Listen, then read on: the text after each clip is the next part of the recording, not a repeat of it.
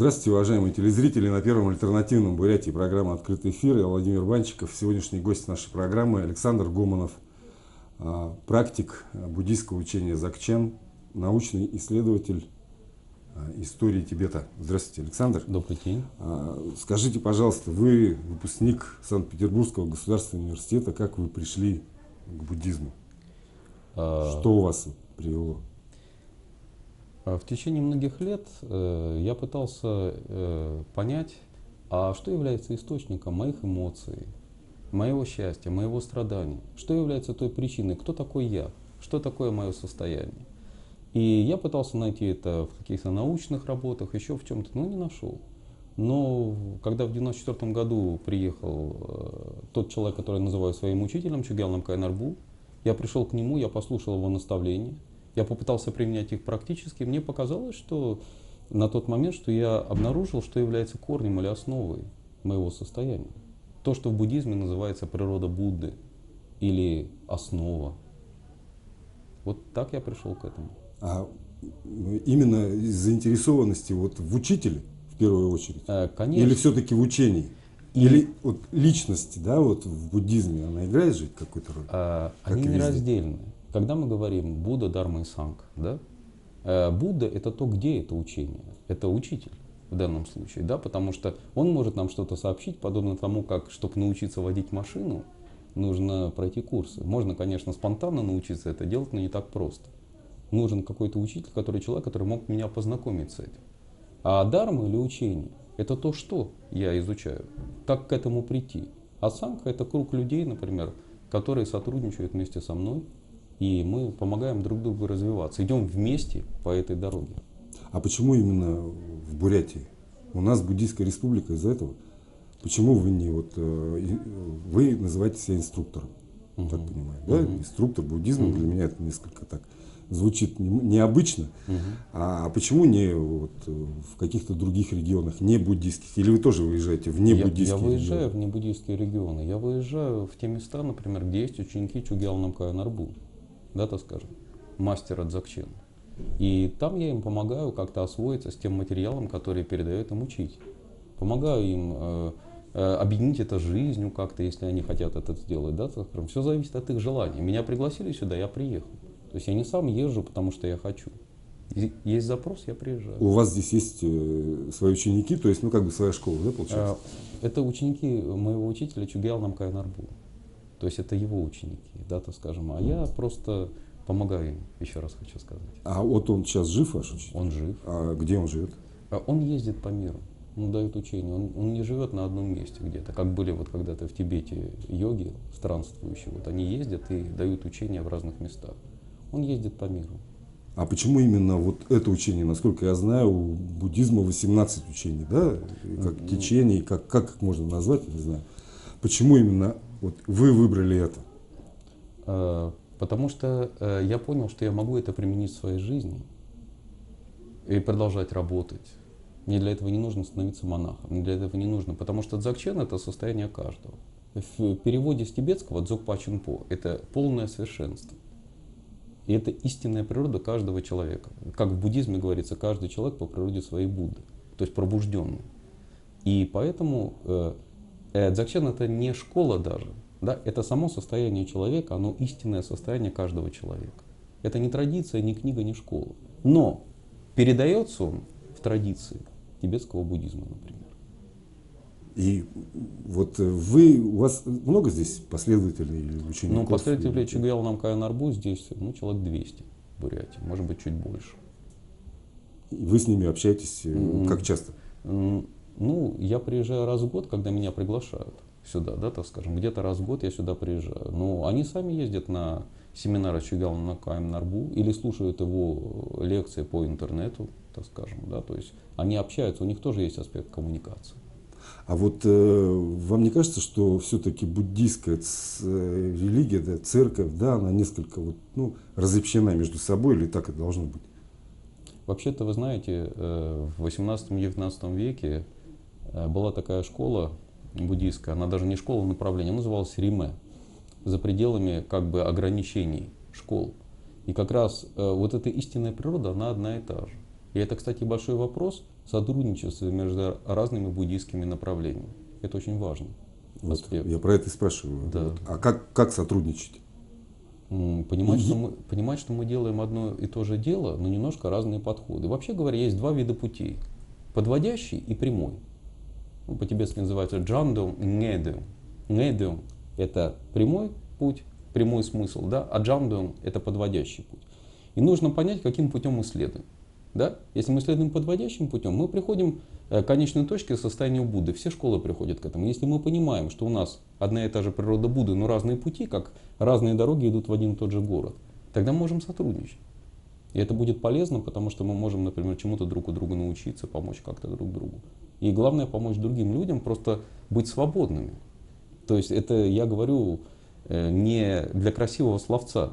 Действительно быть свободными, потому что э, уметь сделать так, чтобы проблема даже не возникла в моей жизни, тем уже втянуться в это количество проблем и пытаться их решать без конца. И получить еще большие проблемы. Э, Очень часто так у нас бывает. Ну. Когда я, например, обусловлен гневом, да, например, и начинаю уже с кем-то ругаться.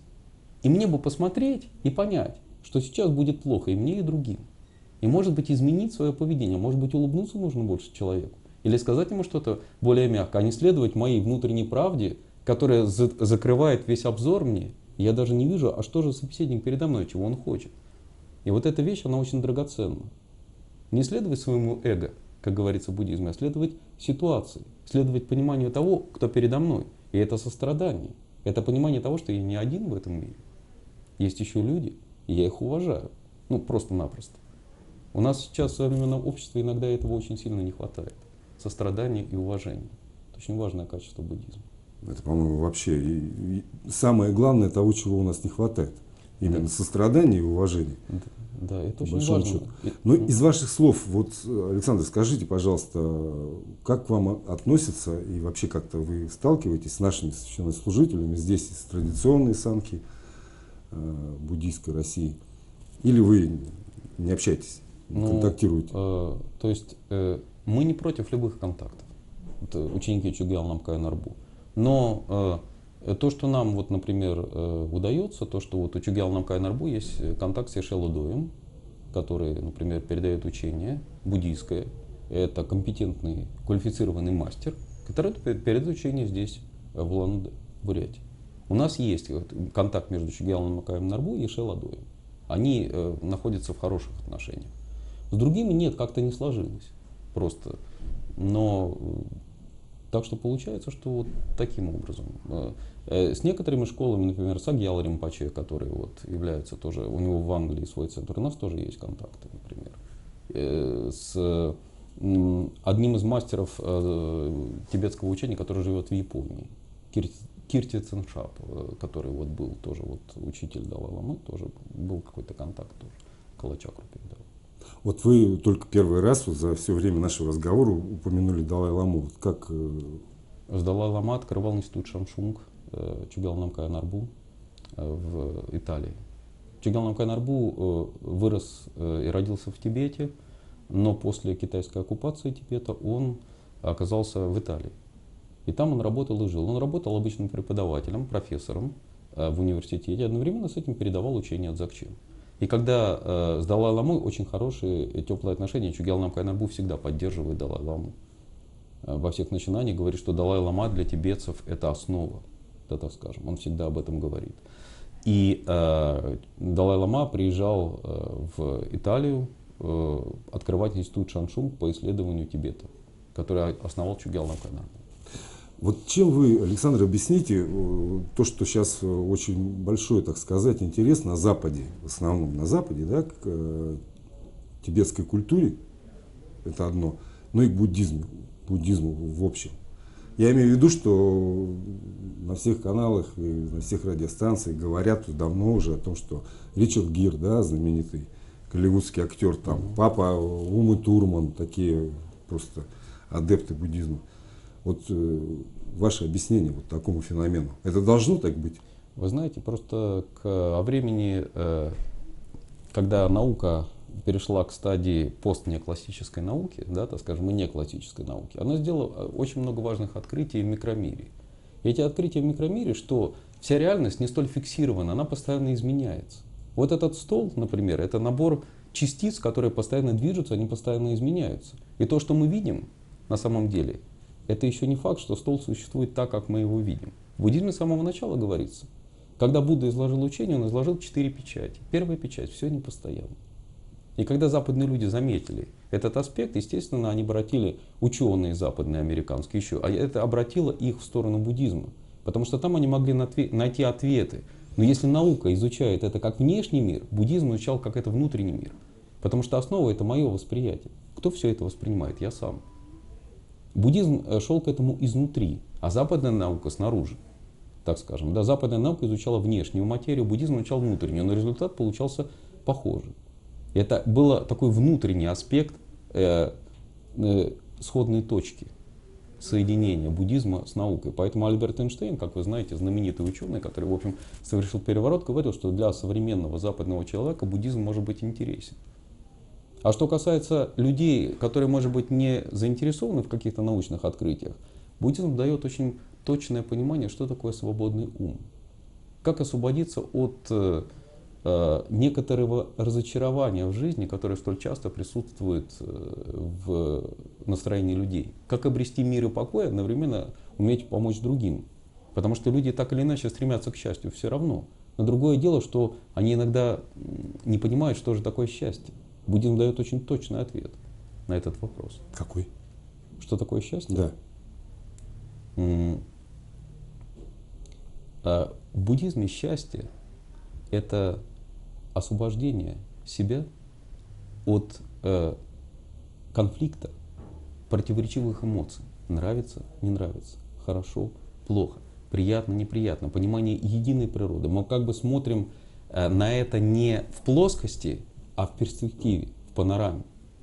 Это счастье, это бесконечная свобода ума человека, это свобода. Счастье это свобода. Но свобода не которая связана с распущенностью, а с ответственностью, с осознанностью.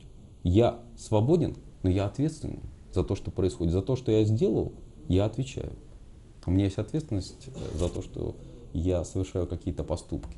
Но в то же время я свободен. Вот э, нет ли противоречия Буддизм, мы знаем все прекрасно, одна из самых древних религий, на ряду, наверное, с иудаизмом. Да? Самые древние религии мировые, которые признаны и которые есть и будут, естественно. А противоречия я имею в виду с новой религией ислам. Не вступает в какие-то противоречия с исламом, буддизм. Вопрос несколько провокационный, вы можете на него не отвечать. Но тем не менее мы живем а, в одном мире, от этого никуда не денешься. Вы знаете, э, вообще буддисты сами по себе, они э, принимают любую ситуацию. Они принимают любую ситуацию живых существ, которые идут э, к освобождению, да, так скажем, которые страдают. Но иногда возникают какие-то, в истории возникали какие-то конфликты, например. Когда, например, вы знаете, что Средняя Азия, например, бывшего постсоветского пространства, да, она была буддийской. И, и в Индии был буддизм. Вы знаете, что именно вот вторжение мусульманское, оно прекратило буддизм там, и там появился ислам. Все буддисты были убиты просто. Это известный факт исторический. Но э, в то же время э, те люди, которые исповедуют ислам, они люди, они стремятся к счастью. Нет, я просто я неправильно, некорректно, наверное, это моя вина, угу. поставил вопрос. Угу. Я не имею в виду весь ислам. Я имею в виду то воинственное крыло, которое занимается терроризмом, проповедует там неизвестно что, вот к этому. К такому, так сказать, такой ветви ислама. Какое отношение? Ну, вы знаете, те люди, которые исповедуют терроризм, в общем, они являются объектом сострадания в буддизме, потому что они страдают. Но э, если они делают что-то негативное, то, естественно, это нужно останавливать. Но в целом буддист всегда руководствуется состраданием, даже если это... Знаете, есть знаменитая история про Ангулималу. Вы, наверное, ее знаете, да, так скажем. Э, был такой убийца, который сошел с ума, он фактически стал буйно помешанным, Ангулимала. И он э, убил, ему э, его наставник, не буддийский, сказал, что для того, чтобы, так скажем, ему хорошо развиваться, нужно убить тысячи человек. И он убил 999, оказался тысячным Будда. Он его встретил на свое счастье. И тут э, Эта история описана в сутре о мудрости и глупости. Вот. И а, он, э, в общем-то, его пытались, этого Ангулималу, как-то убить, как-то захватить, но никому этого не удавалось. И он наконец увидел, наконец я сейчас тысячного э, человека убью, потому что э, у него остался один человек. Да? И он побежал за ним и никак не мог догнать. Будда не ускорял шага, Ангулимала бежал и никак не мог догнать. И наконец, когда Ангулимала возник только один вопрос, почему я не могу догнать, Будда повернулся к нему. И он уже забыл о том, что он хотел его убить, и ты спросил, а почему я не могу тебя догнать? Хотя ты идешь, не ускоряя шага, я бегу. Потому что я давно стою, а ты идешь, а ты бежишь, сказал Будда. Э, Стоять означает, что Будда освободился. Бежать означает, что этот человек мечется, как белка в колесе. И в итоге после этого разговора этот Ангулимала, в общем, обратился к знанию и стал пытаться практиковать что-то. Это был убийца-маньяк, да, так скажем. И Будда испытывал к нему сострадание. У Будды не было страха этого человека как какой-то системы опасности. То, что он не, был руководствовал, не руководствовался инстинктом выживания, который предполагает в себя агрессивность, хватание, цепляние. Он руководствовался состраданием по отношению к этому разбойнику, убийце. Поэтому я думаю, что в целом э, буддизм относится с состраданием ко всем э, живым существам, в том числе и э, к террористам. Да? Но только вопрос в том, если это угрожает другим живым существам, нужно принимать адекватные меры. А уже ситуация предполагает, мудрость ситуации да, для нас предполагает понять, какие меры мы примем. Хорошо. Сейчас весь мир, наверное, но нас в первую очередь, я имею в виду Россию, волнует то, что происходит сейчас соседней, я бы сказал, братской, дружественной стране, в Украине. Вот как вы оцениваете, я, насколько я понял, вы недавно были там и видели изнутри всю эту ситуацию. Вот вы как-то можете это прокомментировать? Вы знаете, вообще э, в буддизме есть такое, есть, я сейчас начну немножко издалека, а потом приду к конкретной ситуации. Есть такое понятие эволюции.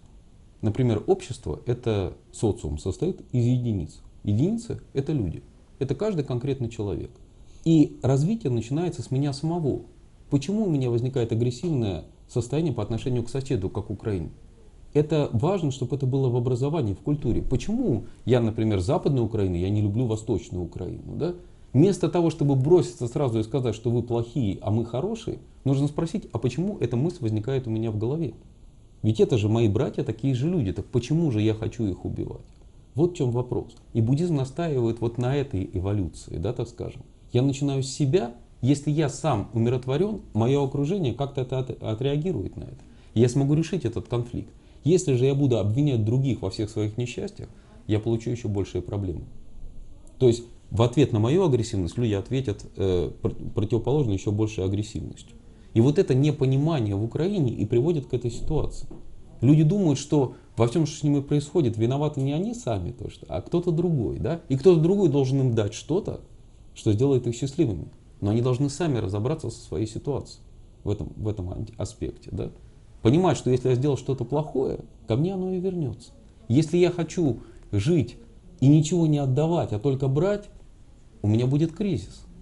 Тогда придет кто-то и заберет у меня Так ведь то, и что- получилось. Да, так и Ину- с Януковичем и его Да, командой да, так и получилось. да. Брали, ничего не давали, и вот Да, тебе, пожалуйста. да. Это, это вообще хороший пример, потому что не, не хватает сострадания. Я думаю, что ему столько и не надо было, сколько он убрал. Да, так скажем. Да, конечно. даже, даже, но нужно было вовремя понять, что люди, которые живут в его государстве, они также ходят на работу, у них также есть дети. И нужно давать пространство этим людям для развития, для жизни. Вот когда этот момент был упущен, произошел кризис, произошел конфликт. Но правда, э, люди ведь, видимо, в людях тоже есть это настроение, да, так скажем. В какой-то мере моя хата с краю, и чтобы только брать. А потом, а другая часть людей агрессивные хотят захватывать. И все. И получается такой конфликт, который приводит... Самое плохое, что там гибнут люди. Это самый плохой момент, что Конечно. уже и человека уже не вернуть в этой, в, этом, в этой ситуации, уже человека не вернуть. И вот это самое плохое. И поэтому нужно все сделать, чтобы в Украине прекратился этот конфликт одних с другими. Чтобы люди как-то сели за стол и договорились. Мне кажется, вот это важный аспект. И кто это может сделать? Они сами или все-таки нужны какие-то посредники? Может быть, нужна помощь. Скорее всего, нужна помощь какая-то. Тех людей, которые, безусловно, уважаемы там, да, так скажем, которым люди доверяют. Конечно, нужна помощь. Вот. Но вообще, вы знаете, эта система воспитания, э, нравственного воспитания людей. Это очень важный аспект, может быть и в школах это важно. Не догматическое воспитание, а свободное воспитание нравственное. Не то, что меня заставляют быть нравственным, мне важно самому это понять. Вот буддизм, ну так простым языком говоря, буддизм не пытается ломить и навязывать какую-то историю. Он пытается сделать так, чтобы человек сам открыл это. Он предоставляет человеку возможность. И человек может это открыть, потому что это и есть его природа. У Будды было очень важное э, утверждение, что ситуация человека это не проблема. Человек по природе своей хорош, он по природе своей позитивен, но он просто не знает об этом, и поэтому, стремясь к счастью, он получает несчастье, совершая негативные поступки, негативные действия, он этого не понимает. И это вопрос нашего образования. Я несколько лет проработал учителем в школе. Вот, кстати, про образование. Как вы, как бывший учитель, ну, бывших учителей, наверное, не бывает это, я так, как учитель, да, как вы относитесь вот к тем реформам, которые нам преподносит наше любимое правительство э, в сфере именно школьного образования. Я не говорю сейчас про высшее образование, про Академию наук, это именно вот школьное образование, где закладываются все основы будущих знаний и в том числе человеческого восприятия мира. Вы знаете, наверное, я бы хотел пожелать больше вот аспект э, гуманитарного образования. Не сводить все к тестам, вот к таким вещам, которые просто формальны, да? Более неформальным это сделать, чтобы человек развивался в гуманитарном плане, чтобы он мог не только писать что-то на бумаге, и это явилось критерием оценки, чтобы он мог что-то говорить, он мог что-то понимать, у него была способность коммуницировать и контактировать. Это очень важный аспект. Мне кажется, вот это, даже когда я учился, вот перешли на систему тестов, я преподавателем истории был, и дети совершенно не могли рассказать что-то. Они не могли общаться, они не могли коммуницировать. Очень важный аспект, этот аспект коммуникации, мне кажется, сейчас вот есть некоторый недостаток в этом, да, так скажем. И вот да это... не некоторые, мне кажется, огромный недостаток. Вот. вот на мой и взгляд. нравственное воспитание тоже очень важно. Потому что помимо материальных ценностей у человека есть еще и... Э, человек вообще состоит из трех, из трех основных компонентов, согласно буддийскому учению. У него есть тело, у него есть э, тело, ну, например, простой пример, что такое тело? Вот я иду по улице, да, например. Вот я иду, сам процесс движения это тело, какие-то действия, которые я совершаю. У него есть еще речь, или энергия, или дыхание. Все это связано с тем, что я чувствую, когда я иду. Есть ум, а ум я знаю, как идти. И все эти три аспекта нельзя игнорировать. Если мы будем только на процесс, только на тело опираться, мы придем к тупику. Потому что мы не будем понимать, а зачем это все делать? А кто ответственен за это? А вот аспект нравственного воспитания тоже очень важен. Потому что хорошие действия порождают хорошие поступки, плохие – плохие. Если я кого-то обманул в бизнесе, я получу потом тоже последствия, не только для себя, но и для своего окружения. Ну, как президент Украины, собственно говоря, да, так скажем. Понимаете? И вот этот момент, человек, если он действительно хочет быть счастливым, даже эгоистически не хочет проблем, даже эгоистически, если у него умное эго, он будет уважать тех людей, с которыми он контактирует. Александр, ну, к сожалению, время нашей программы истекает, поэтому по традиции я предоставляю вам слово с обращением к нашим телезрителям. Дорогие телезрители, хочется пожелать всем мира, спокойствия и гармонии. Да, так скажем, что в, ваш, в ваших семьях, в вашей жизни всегда было счастье, всегда была гармония. И для этого важный аспект, что эволюция или развитие начинается с нас самих, то есть нашего собственного понимания. И тогда мы можем помочь другим. И буддийское учение учит именно этому. Если кто-то хочет, э, например, э, немножко углубиться в это знание, я какое-то время буду здесь, и 11 числа, 18 часов в Национальной библиотеке я э, приведу более подробную лекцию на этот счет, и мы сделаем ряд занятий, в том числе и практических, для того, чтобы мы могли обнаружить как-то вот эту знаменитую нашу гармоничную природу. Вот можете, если вам интересно, присоединиться, потому что вход свободный на это занятие. Спасибо большое, Александр. Уважаемые телезрители, я напоминаю, что в гостях программы «Открытый эфир» был Александр Гомонов, научный исследователь а, истории Тибета. Я Владимир Банчиков. Прощаюсь с вами. Всего вам самого доброго. Берегите себя. Увидимся.